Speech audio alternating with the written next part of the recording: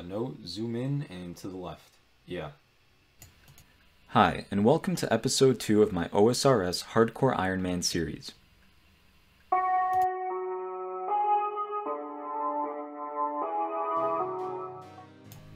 As mentioned in episode 1, the ultimate goal of this series is to obtain the achievement diary cape without dying. I do intend to go in order, completing all easies, moving on to mediums, and then eventually hards and elites. I do actually already meet all the requirements for the easy diaries, and my first roadblock isn't until the mediums where I lack the construction level required, so that seems like a good place to start off. So I decided to cut some teak logs here on Fossil Island to bank some construction experience. I'm only at 25 right now, I need 37 for the medium, uh, basically, you just hop through this agility shortcut here, which you require 70 agility for, and then you just bank on the Fossil Island chest. Uh, I'm to go beyond just 37 construction, though. I think I'm to aim for around 64-ish, so I can make a decent altar in my house, and then also boost my prayer. Um, how many teak logs do I have right now? Uh, where are these things? I had zero when I started, yeah, now I'm getting up there a little bit. I think I need around six or 7,000 to have 64 construction banked, so that's the goal. Took a break from cutting teaks for a little bit, decided to do kind of a farming run. I'm here at the farming guild, um, getting very close to 92 farming actually, should probably get it while I'm here. Um, I always like to grow watermelon and snape grass. For the bush patch and cactus patch, those things will respawn after you pick them, so I usually just keep them and just pick them every time I come by the guild. For the flower patch, I like to keep growing limps, uh, just because those are a useful secondary for herblore. And that's really the reason why I'm going to keep doing farming. So I'm coming up on level 92 here, uh, just a few experience points away, but uh, that's you know more than enough for all the diaries, but I do need to basically keep doing the contract so I can keep getting seeds so I can get that 90 herblore, which is a elite diary requirement. And doing the tree runs is actually pretty passive, so I think I'll just keep doing that as uh, time goes by, and eventually I'll just end up at 99. Uh, I get all my tree seeds from birdhouse runs, so I don't really have too many, but I don't think I'll ever actually run out. So level coming in right now, Wait for it, and there it is, very nice, 92, halfway there. Nice. So if you're like me and you actually dislike playing RuneScape, then you probably do the same thing. You probably train Hunter exclusively through birdhouses, that's what I've been doing so far, uh, which means I'm always hitting up Amelia here at the Farming Guild for her stuff. Feeling lonely? Consider buying yourself a kitten. They like to eat, you have to give them attention, it's basically the same thing as having a girlfriend. So I'm going to take advantage of this being just the second episode in the series and show you guys kind of where I'm at. So this is my tankiest equipment that I use for Hespori. Uh, and just in general, it's my tankiest. I forgot my gloves, so let me just go grab those right now. I don't have Impero's gloves, just Void gloves, unfortunately. But uh, yeah, I do intend to do Hespori going forward. It's some of the best farming XP in the game. I do already have the bottomless bucket, but I like to get the uh, white lily seeds and some of the other funky seeds from Hespori. Uh, white lilies can be assigned as a hard contract and they grow I think in like 20 minutes so you do want to be ready in case uh, you get that assigned because it's probably one of the quickest contracts you can get. And that's another kill in the books, let's see what we get. And white lily seeds, exactly like I was just saying, so there you go. So I'm about to tear open a couple of packs of Skittles here and see what I get. Uh, I don't know how people got 99 Herblore without these. These are the seed packs I was talking about. Um, you know, I'm going to need these to get to 90 Herblore for sure, so going to keep doing them. Some more mind-blowing edge-of-your-seat content right here. Content. Content. Content. Content. Nice. Contenido. Content. Triple content.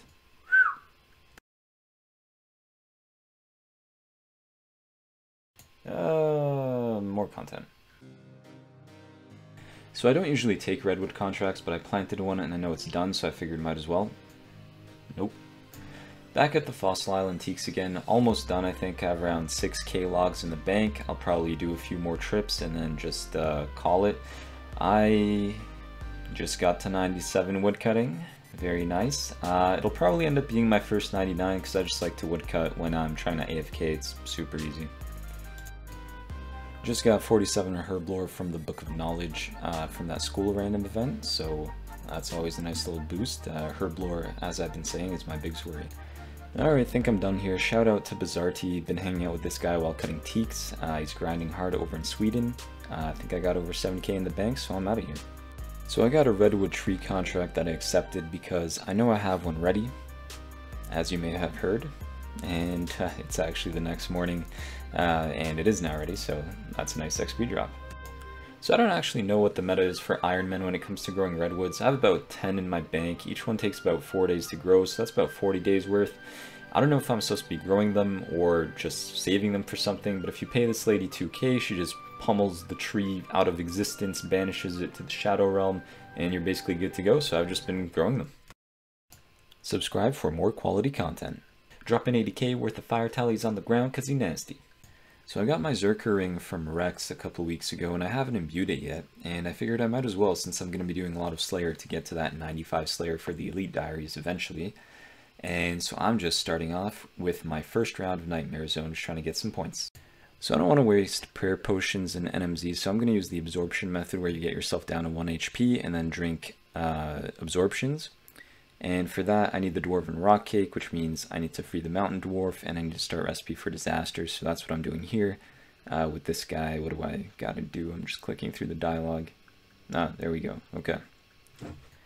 So Lumbridge Chef guy said he needed an Eye of Newt uh, for me to start Recipe for Disaster, so I'm just picking up a few extras here just to be safe. But in all seriousness, I will actually use these for the Herblore grind very soon for the super attack potions. Man, the very first step of this quest is already a pain in the butt. It took quite some time to gather all this, but I finally have it. What? What do you mean I don't have everything? Forgot to bring my ashes, but good thing a family member was recently cremated, so I had these on hand. I think we should be good to go. What the heck? Right, you gotta use the ashes on the drink, of course. Why wouldn't you do that? I should have known. And let's see. Yes, okay.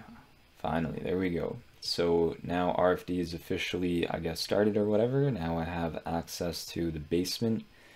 And I think to all these people in this room, let's go find out. Yeah, this looks promising. Okay, nice, yeah. And this is like that epically long cutscene, probably the longest one in all of RS.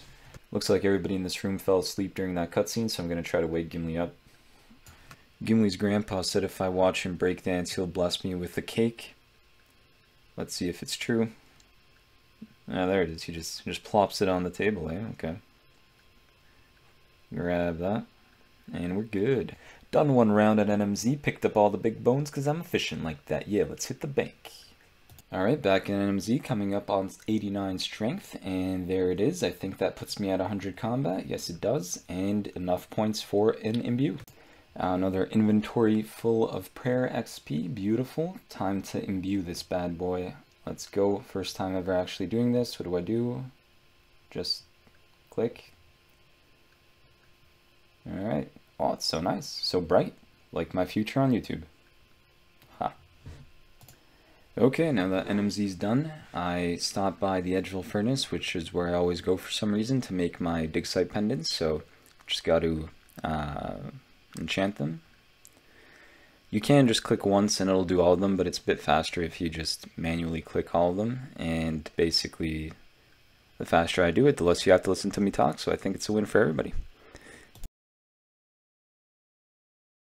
Realized I have a bunch of clues in my bank, so I'm going to do the easy and beginner. The med and hard I need to do regicide for, so it's next on my list. Got one casket in my inventory. This should be the last step for the second one. Let's see. Alright, perfect. Casket acquired. Uh, let's see what you got for me. Uri, Yuri. Okay. That's, yeah. And, yeah, okay. I mean, that's a unique. Can you get some, uh, Fashionscape going maybe. Let's let's see what this looks like. Yeah, maybe not. Did some wood cutting and got a couple more clues, so now I'm here again with two caskets. Let's see what we got this time. Zoom in for a better look. And beginner first. Alright, so nothing really. And the easy. Yeah, okay. Black plate legs T. Those actually look cool at least, so I'll take that. See what those look like. Yeah, that's sharp. Practically getting more clues than logs from redwoods. Let's see. Okay, typical and easy. Eh. A lot of people skip all random events, but I do find on an Iron Man it's worth doing some of them, especially the troll one where you play the, the game, and then this one where Molly gives you a description of her evil sorority sister and you have to pick her out out of a lineup. Uh, you can get some noted gems, and you know I need rubies for my Digsite pendants, so that's what I'm always hoping for. Maybe next time. Gains from editing this video. Just finished a Fire Giants task and picked up all the bones. Let's see what we got next. Kurasks, perfect. Speaking of bones, and again, since this is the second episode, I feel obligated to kind of show what I have in the bank. I've got to have at least a few hundred thousand XP banked, and that's why I need that construction level up. Clan members maxing, but irons can't go into POHs. And there he is, the man of the hour. Shout out to Rear on a successful RS career. Huh. So this is actually my first ever Kurasks task, and I got a superior. Looks like this guy intends to just leave that Snapdragon seed there, worth 81k. Yoink. Second superior, same task, nothing. Third superior, same task. That's wild. And got the kill coming in. Fourth superior now, that's pretty crazy.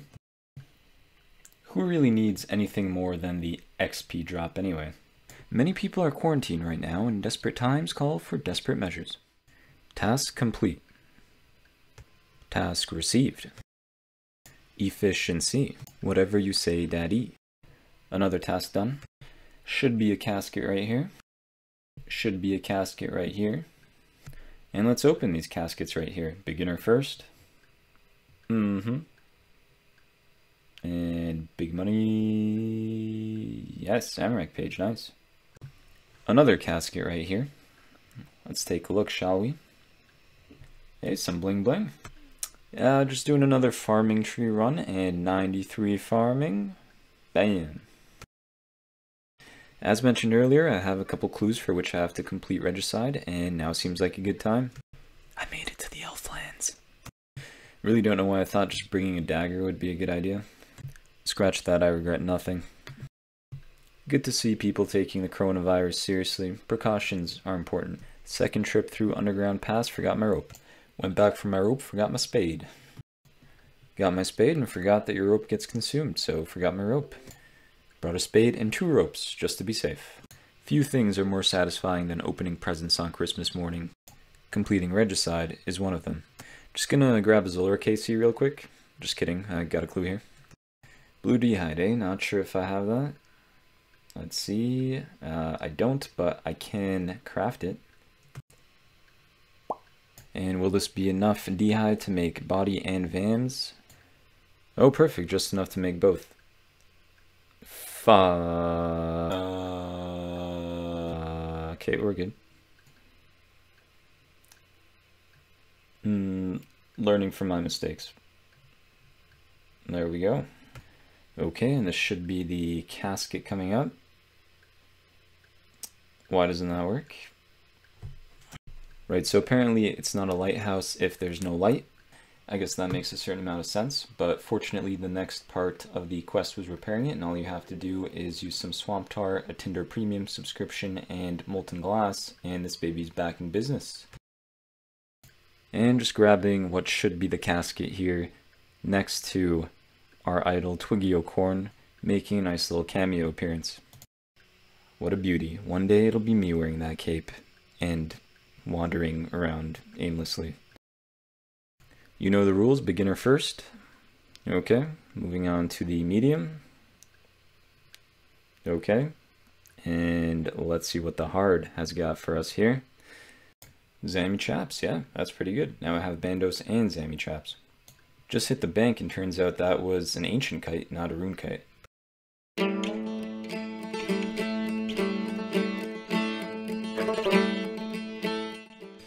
Alright, so we finally made it to some actual diary progress, and I do apologize for this episode being so long. Since it's just the beginning of the series still, I felt the need to inform you guys how I usually train my skills and included all kinds of stuff like that, but in the future I do intend for the episodes to be a bit shorter and a bit more action-packed.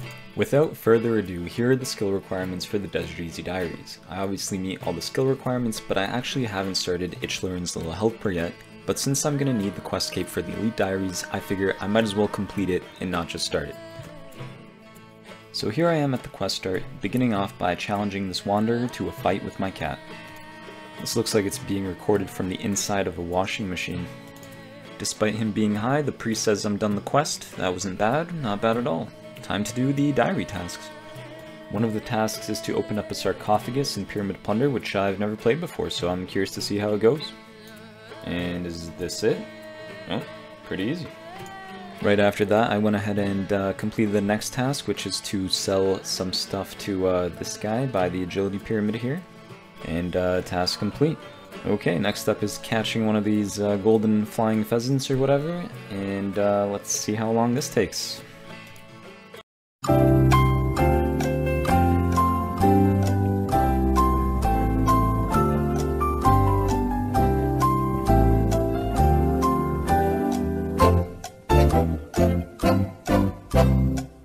Nice. Conveniently located just north of these flying, well I guess they're still flying around here, but basically in the same area is these uh, this mining site with these clay rocks that you're supposed to mine for 5 clay, and that's another task. And yep.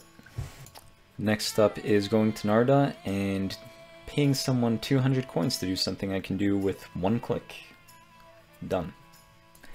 Last but not least, Prince Ali wants us to ground these flying penguins that he has in his backyard. Done. And that's all the Desert Easy. Back at Jarr now at Shantay Pass to pick up my reward. And uh, you already know it's Herb XP time. Nice little bonus. So let's take a look at the progress completed so far. I already had Ardougne and Varrock done, so now I'm adding the Desert Easy, and I intend to move a lot quicker going forward with these. Looking at the ranking total level goals, we gained a solid 150 ranks during this episode and 10 total levels. Again, I feel like this will move a lot quicker going forward now that we have the first episode stuff out of the way. If you enjoyed the series, please give a like so other people can find it as well. See ya in episode 3.